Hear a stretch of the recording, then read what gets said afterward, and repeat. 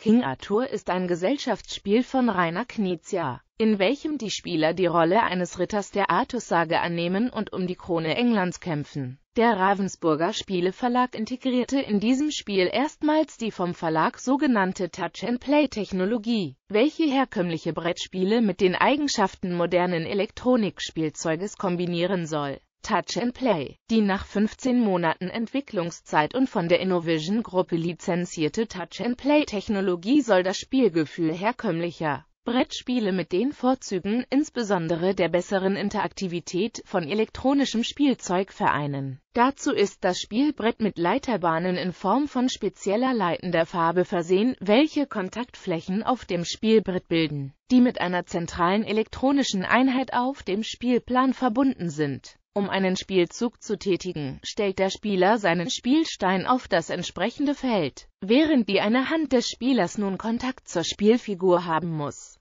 berührt der Spieler mit einem Finger der anderen Hand eines von mehreren Aktionsfeldern auf dem Spielbrett, welche die Art des Spielzuges angeben. Durch die so geschlossenen Kontakte entsteht ein Stromkreis von der zentralen elektronischen Einheit zum Kontakt, auf dem die Spielfigur steht, durch die Spielfigur und den Spieler anschließend über das Aktionsfeld erneut ins Spielbrett zurück zur elektronischen Einheit diese kann nun feststellen, auf welchem Teil des Spielfeldes welcher Spielzug ausgeführt werden soll. Weiterhin ist durch unterschiedliche elektronische Eigenschaften der Spielfiguren auch eine Unterscheidung zwischen diesen möglich. Über eine Sprachausgabe und ein Display kann die zentrale elektronische Einheit anschließend weitere Informationen oder Anweisungen geben. Betrieben wird das Spiel mit vier handelsüblichen Minion-Batterien. Die verwendete elektrische Spannung ist dabei derart niedrig, dass sie für den Menschen nicht mehr spürbar ist. Spielablauf Nachdem sich die Spieler reihum bei der Elektronik angemeldet haben, erklärt das Spiel mit der Rolle Merlins das Spielziel. Es soll eine bestimmte Anzahl Ruhmespunkte gesammelt werden. Weiterhin werden als Siegbedingung ein Ross, eine Rüstung sowie eine Lanze benötigt. Die Spielzüge werden reihum ausgeführt und bestehen im Wesentlichen aus dem Erkunden einer Region.